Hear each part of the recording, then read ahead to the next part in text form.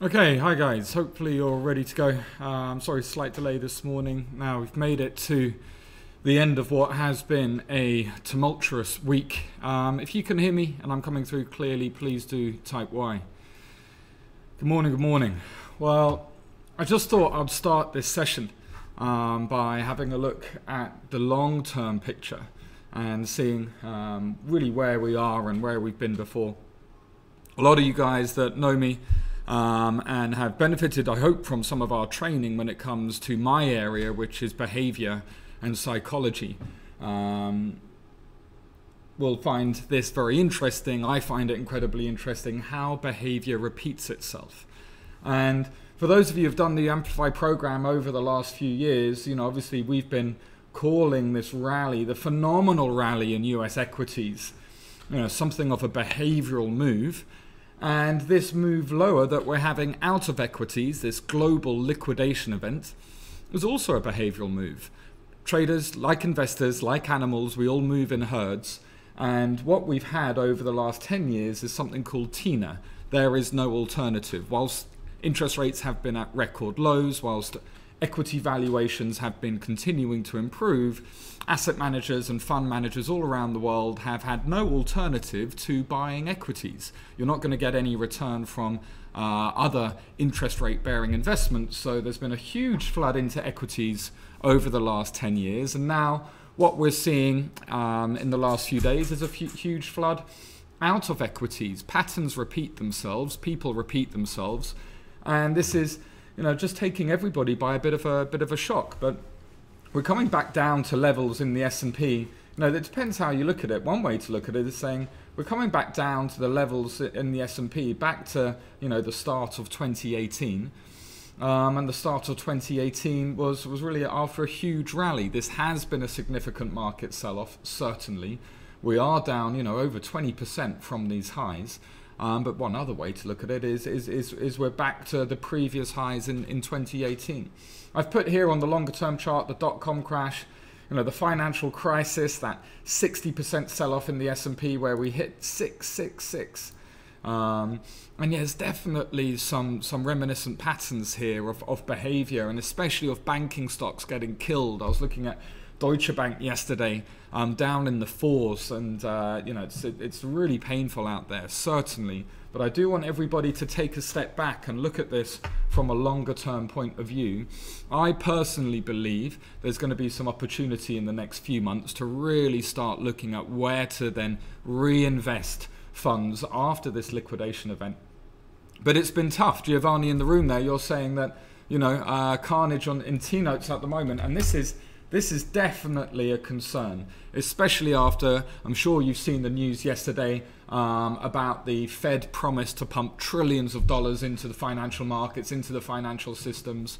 I'm going to say that again trillions of dollars um, into the financial system. And this isn't the response that you'd be seeing or that you think that you should be seeing in T-notes. And, and this really does show of that, that, that general liquidity event that's going on. Um, huge sell-off here in, in, in, in T-notes, but also, you know, you've got gold. Gold's been moving lower. Gold miners have been moving lower as well.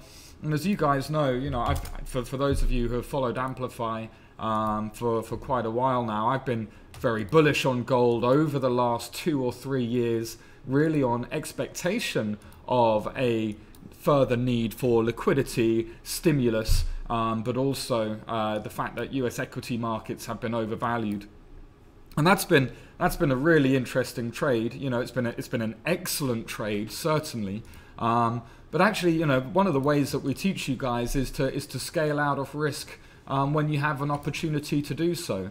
And I took about half my position off off the gold miners over the last two weeks. You know, I still have half on, and it's interesting for me to, to think about going through these behavioral waves. Um, but all traders out there, all of you guys out there, we're going through these behavioral challenges now.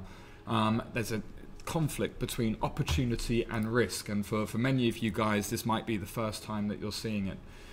All right, let's have a quick look at the, the, the, the major news. Um, global stock sell-off eases after the worst Wall Street rout since 1987.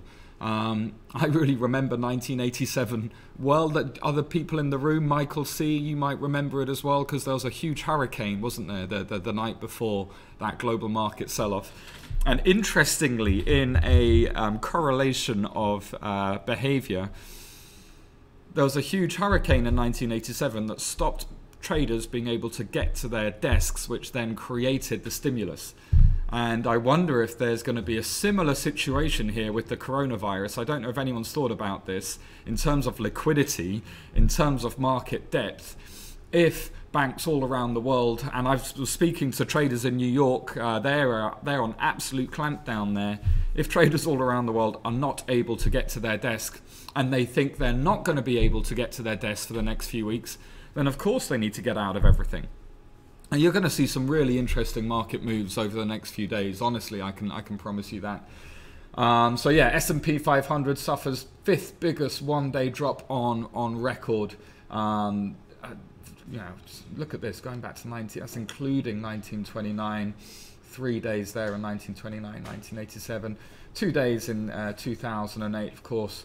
Uh, World War II related in the 30s, three days there as well. Um, really interesting to see that huge stimulus coming out of the US as you as I've already mentioned more stimulus coming out of Japan as well.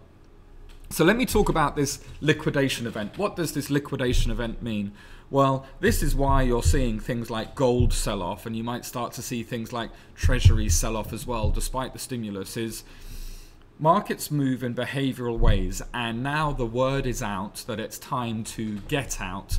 And asset managers and fund managers all around the world are now going back to the mantra that cash is king until it's time to, to, to reinvest. And, and that behavior means that other people are starting to follow. So I love this image here of. Uh, throwing in the towel. That's it. Investors out there have, have had enough, and it's time to now liquidate all positions and that's what we're seeing in the market. And this is this is despite that um, pump of liquidity. But yeah, it's interesting. This is talking about the repo market. This is the intervention that the Fed took. I think it was was it September, October in the repo market to try and help short-term liquidity, to try and help uh, facilitate short-term. Um, short-term loans, or it might be short-term cash transfers. It might be uh, anything that that helps the financial market system function over the, the, the, the, immediate term. So this is one month and three month uh, liquidation events. Um, but yeah, I mean, it's it, at the moment. I think the market is saying it's it's not enough. We haven't yet seen enough um, help on a on a global scale, and that's why you've seen equity markets uh, disappointing, disappointed. This is an important article in the Financial Times. You guys want to read this uh, if you get a chance. What's causing such fear in the U.S. Treasury market? And this is re- this is really a warning sign. And I think we, you saw it in Italian bonds. Was anyone watching FBTPs yesterday? Uh, Italian bonds really really getting smashed as well. Um, strange patterns have started to emerge in U.S. Treasuries. Um, normally a safe haven market, actually now uh, starting to starting to come off as well. So it's just volatility. Yeah, same as OATs. Philip's saying in the room, same as uh, the the French bond market volatility in these ultra safe haven assets really can be a bit of a warning sign. Um, and I would say, especially for, for the newer traders out there, you know, just just try and watch this from the sidelines if you're not feeling confident um, about what, what what's happening on the screens. There is a lot of opportunity, um, but there's also a lot of risk. Look at this on the bottom right-hand chart. I'm showing you uh, treasuries just breaking through uh, S1 on, on, on the 10-year bond. I mean, don't get me wrong. Obviously, they've had a had a phenomenal rally, um, but the the traditional correlations of risk on and risk off are slightly off, and that's what can create a lot of confusion out there when you're trying to trade this day to day. Quick look round at the uh, short-term movements of the different asset classes. Then, um, gold has moved higher uh, initially after that U uh, United States uh, trillion dollar promise. We did just move from really 1550 back to 1600. Um, but here I am talking as a, as a gold bug. But I think for the, for, for the medium term, gold's probably going to be a bit dead. Definitely worth taking some positions off um, on, on gold. The correlations aren't quite doing what you might think. I still believe long term, um, as rates stay lower, there will be some further upside um, the precious metal, but but now's not the time to, to, to go full in on, on, on gold. What about the S&P? Um, huge volatility. Obviously, we stopped and had limit down yesterday. Then we had an initial rally after uh, the Fed's announcement coming. So here, there's a limit down on the chart. Then we had an initial rally um, after the announcement of that liquidation event. There it was, just before five o'clock. Can you see how short-lived that was? This creates a real, a real issue for both central banks and governments in terms of what do you need to do to try and stimulate the economy when you have both a demand shock and a supply shock at the same time? Uh, the pound doesn't make for uh, nice viewing over the last few days, all the way down to, to, to 125. I mean, this is this is a phenomenal move here over the last couple of days. I mean, I'm going to have to zoom out on this chart, go back to continuation settings, really to try and find out where we might be able to find some support here in the pound if that's what you're looking for. Um, we broke through uh, the September high. That was quite an important level. You can see it coming out in July as well. Support throughout May and June last year.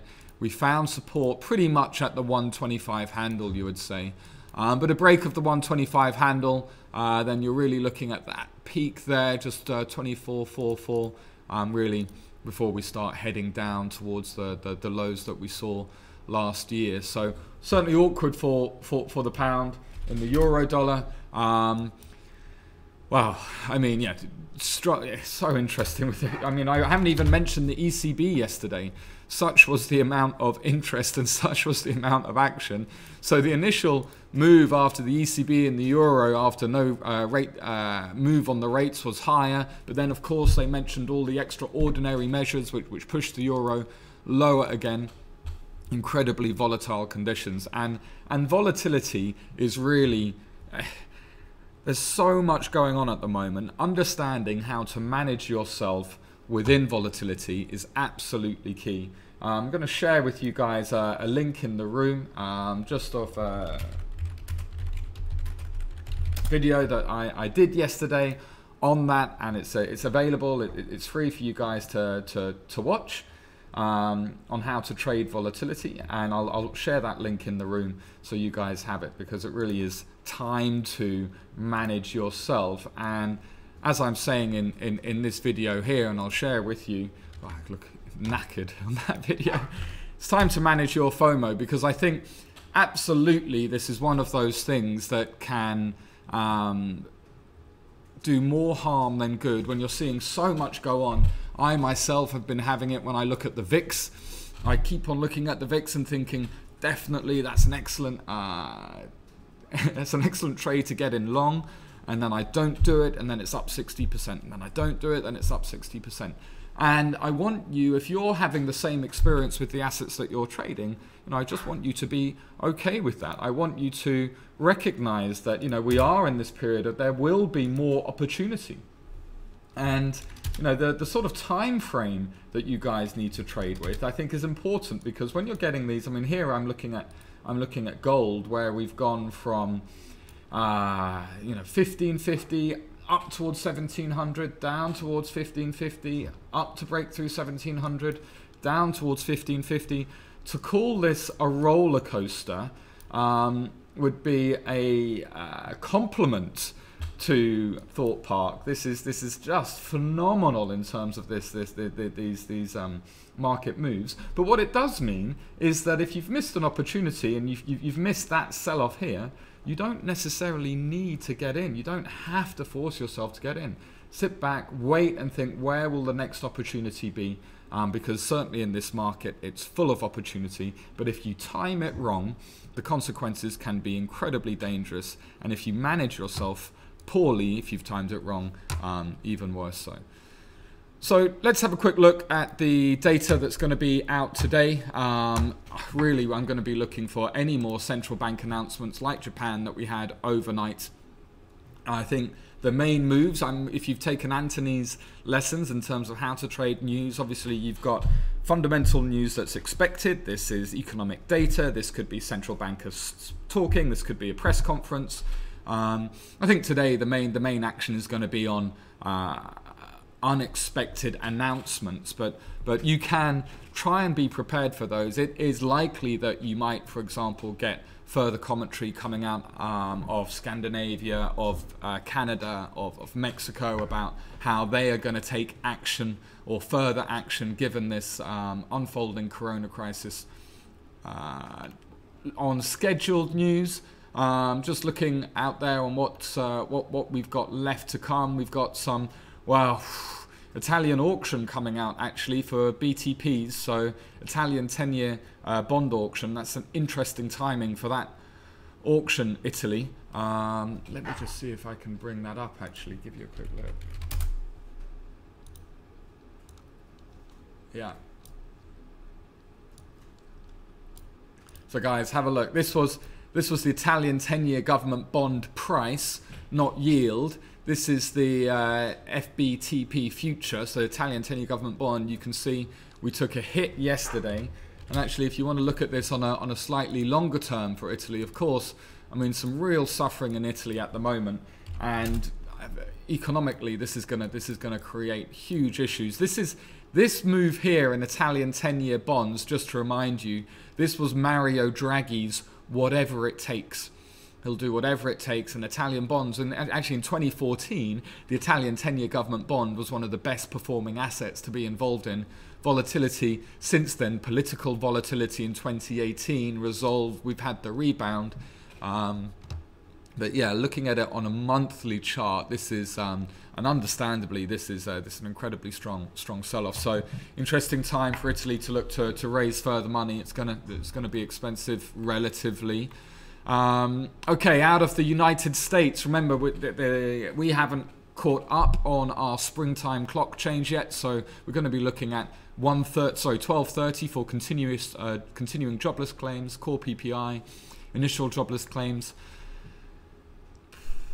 I don't know. Yes, this is going to be important for sure, um, but I think it's too early for the US economic data to have been impacted dramatically um, by, by the virus. I will just tell you a little bit about the US though, guys, because I was speaking to a trader colleague in New York yesterday. Um, hi, Steve, if you're listening.